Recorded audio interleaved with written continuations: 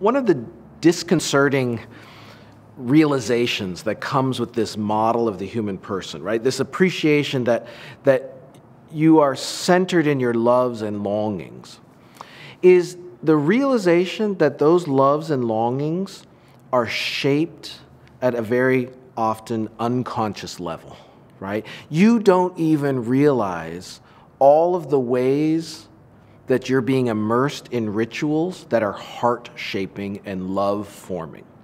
So, uh, for example, how does somebody become a consumerist, right? How, how do people end up sort of living in ways as if they think stuff will make them happy? How does their heart get oriented in that way?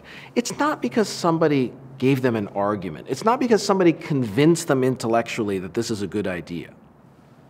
It's because over time, they've been immersed in rhythms and rituals and liturgies, you might say, that have kind of trained their hearts to love a certain vision of the good life, a certain picture of what they think flourishing is.